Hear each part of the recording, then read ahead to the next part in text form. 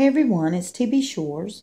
I know it's been a little while since you've heard from me, um, but I wanted to make a quick video, um, a little update first, because I know some of you have expressed to me missing my videos. Um, the Lord is just teaching me right now. I'm listening. I'm trying to uh, seek Him and learn more and just be obedient to what he would have me do. But right now, he's he's not got me lot, putting a lot of anything up. Um, I am learning a lot, but it's mostly for my personal spiritual growth.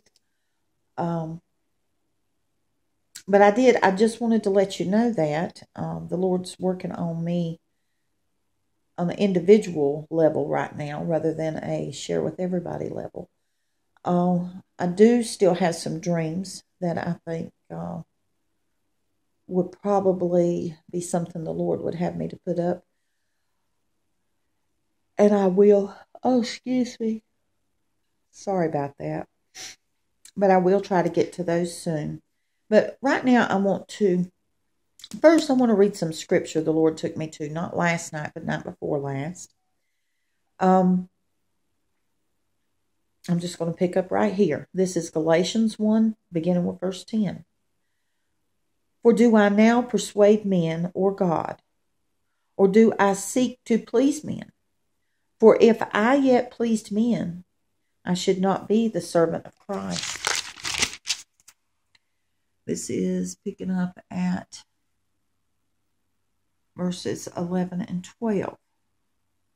But I certify you, brethren, that the gospel which was preached of me is not after man. For I neither received it of man, neither was I taught it, but by the revelation of Jesus Christ. Okay, what this scripture is saying to me, and I didn't understand at first when the Lord first gave me this, I did not understand uh, exactly what He wanted me to pull away from it. Um, it wasn't until after I received a phone call that I understood why the Lord had taken me here because it was off the beaten path of what I was studying. And it didn't tie in with what I was studying. So I was a little confused about it. So, what this scripture is talking about is basically it's not seeking to please what what men want to hear but us being taught, see, being taught by the revelations of Jesus Christ, us speaking what the Lord gives us and not worrying about whether it pleases man or not, because it's about being a servant of the Lord, okay? Not uh, catering to to man's ideas of, of what we should be or what we should be saying. Um, and the reason I wanted to bring this out has to do with, uh, well, this video is about this scripture, a phone call, and a dream I had. Okay, I point this scripture out because after I had this phone call from a family member, I clearly understood why the Lord had taken me here. Um, I won't get into great detail about the phone call. I'll just say that uh, it was someone I highly respect. Uh, it was someone that I see as a godly person. And uh, I've always felt was a humble person.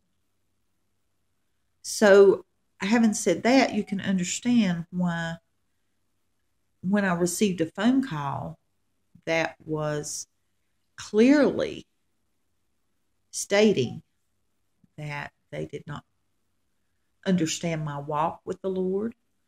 Um, it was pretty much made clear to me they didn't think I could be in the will of the Lord. Um, but it's all about, it was all about what they felt I should be doing as a Christian. Okay? Um, I was really discouraged by this conversation And I'm, I'm just trying to think what's the best way to describe this. Uh, it, it, to me, this conversation was all about um, trying to point out to me that I was not and could not be in God's will or or living for the Lord because they didn't agree with um, the way I choose to do things. Now, it wasn't about me living in the world because I don't live in the world. Although they did kind of bring that up, and I'm thinking, how can you say that when you don't? You know, you couldn't really know me if you would say that because I do not live in the world. Uh, the Lord has removed me from things that are of a worldly nature. Yes, I have to continue on uh, with my um, things I need to take care of within my family and my home. But um, the Lord has very much removed me from things in the world. Uh, I don't even watch TV aside from uh, watching the news or uh, a gospel or religious uh, program of some sort that I feel is appropriate. Uh, I said that just to try to get you to understand the level at which I do not live in the world. Um, anyway, there were several things said, and I won't get into the whole conversation. But it did leave me very discouraged. It was clear this was an, an attack from the enemy because the enemy wanted wanted me to be discouraged. And the best way to do that was to bring someone against me that I had high regard for, that I respected, that I felt was godly. And my point in bringing this up to you is that that we are coming into a time of attacks, and you know, and the Bible speaks of um, how things will be in the last days, in that even our family will turn against us. Um, there, oh, there's just so many things I could cover right now, but I'm going to keep this simple. Um, but my okay, back to the point at hand. Uh, when when this conversation was done, I, I was feeling very discouraged and I took it to the Lord right away. And I told the Lord, I said, I need you to show me if I'm on the right path. Uh, show me if I'm on the right the right path. Show me if I'm on the wrong path. Um, because I needed the Lord to to give me or take away this the discouragement that that came up in me from this so that the enemy could not use it to drag doubt up in my mind. Because it's when we let the enemy drag doubt up in our mind it's when we get confused on where we stand with the lord we get confused on what we need to be doing for the lord uh, we get depressed we we get in despair uh, we we just don't know what direction we're going. Uh, and it only takes just a crack of doubt. So when these things come up, we have got to take it to the Lord right away. So that's what I did. And I and I asked the Lord to show me if I was on the right path. And uh, he gave me three dreams. I'm only going to get into one of them because it it was the most uh, appropriate to go with what I had requested. The other was about decisions and uh, where I stand with him. But this one goes right with what I had asked him. Anyway, I was in this house, and everywhere I turned, I had to make a decision on where to go, whether it be to open a door. And I came across this these staircases So I was having to decide which staircase I was going to take. There were two staircases in the house.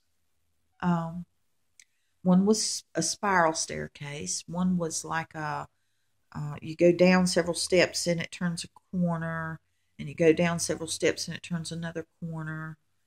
Um, and then I walked out on the balcony, and there was another staircase. And this staircase, I looked down it. It was very steep, and it uh, was growed over with bushes, and it was dark.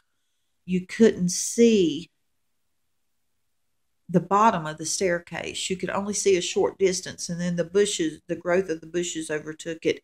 And if you took this staircase, you didn't, you couldn't see where you were going. And I didn't like any of the choices. I didn't want to take any of these staircases. So what I did was I jumped off the balcony. And when I jumped off the balcony, I landed and this is so amazing. God is so good. I landed on a path that was straight. I mean, it was super straight. I remember it clear as everything.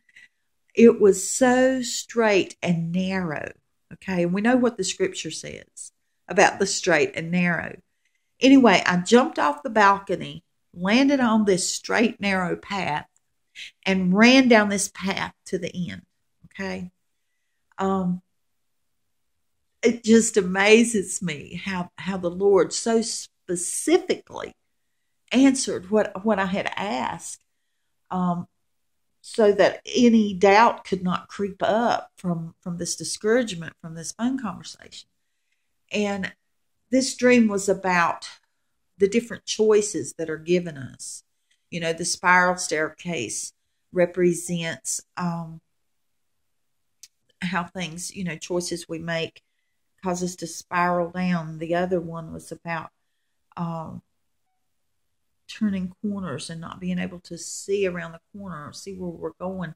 And it was dark as well. And then this one outside, how steep it was, but it was growed over and dark and you couldn't see the bottom. And so my my decision was to just take a leap of faith as I jumped off the balcony. It was about a leap of faith and landing on uh, the straight and narrow path that I ran down to the end. Um, so the Lord clearly showed me through this dream that that I am on the right path, and I thank Him for that. It just put a lot of joy in my heart. Uh, it took away the discouragement that that phone conversation had left me with. And I just wanted to share it with you. The important thing that I want to stress here is that the enemy is going to start coming against us through those that we would not expect to be attacked from. And we have to be ready for that. And when it happens, we have to take it to the Lord right away so that He can take that discouragement from us and give us something to put joy back in our heart so that we don't let doubt creep in to where the enemy can run crazy with it. Because we all know that when doubt creeps in, that's when Satan confuses us the most. So I'm going to leave that right here. I love y'all. Thank you for listening. Bye bye.